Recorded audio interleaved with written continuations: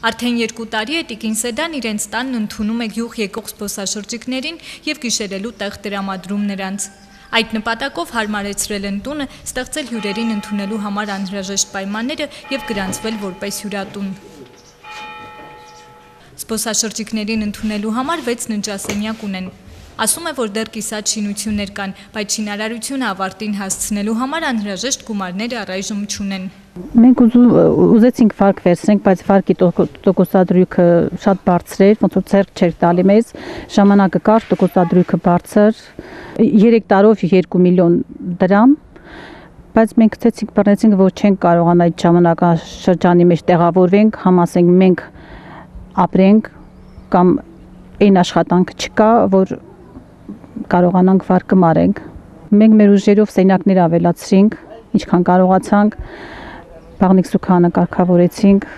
հայաթն ենք ուզում մի քիչ մեծացնենք, ցաղկանոց մեծացնենք, որ գեղեցիկ տեսք լինի։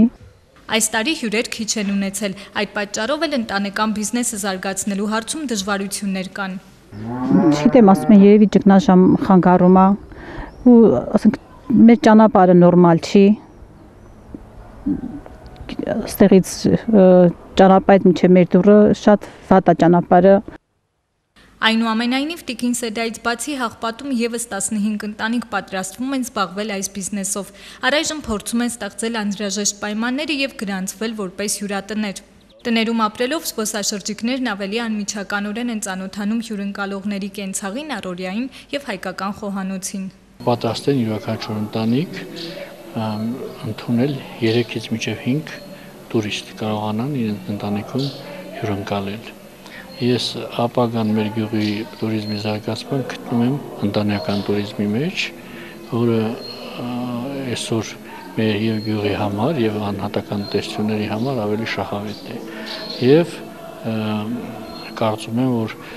туриզմ զարգացման այդ ճյուղը այսօր հետաքրում է շատ туриստներին։ Զբոսաշրջիկներին պատշաճ մակարդակով ընդունելու համար գյուղացիների համար կազմակերպվում են դասընթացներ, այդպիսով նրանք ծանոթանում են հյուրասիրության այն ձևերին, որոնք ավելի են հետաքրքրում զբոսաշրջիկներին։ Գոհար Ոսկանյան, Արմեն Հովսեփյան, լուրեր։